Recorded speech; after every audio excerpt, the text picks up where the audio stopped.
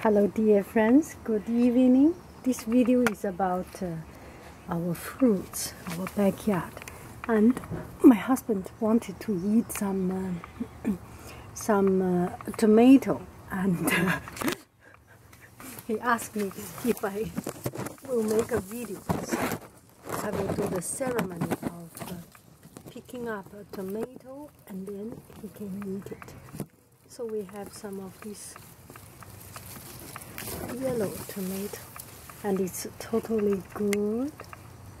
I can pick up just by turning it. Yellow tomato and framboise there. There's some raspberry, oh a lot of raspberry. And uh, we have uh, each tomato is different kind is a different kind there is one I think this one is good also. Me roll it and turn it. And yeah it's good. And this is small this is beef steak tomato sorry. And cherry tomato. Little cherry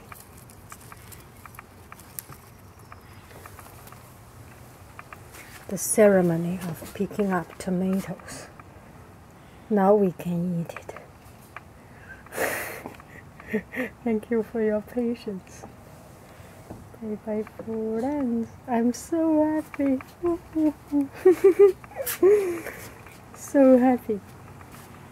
I do not know the taste, and actually, it's not important how it tastes. The happiness of eating something from your own backyard that you planted by yourself.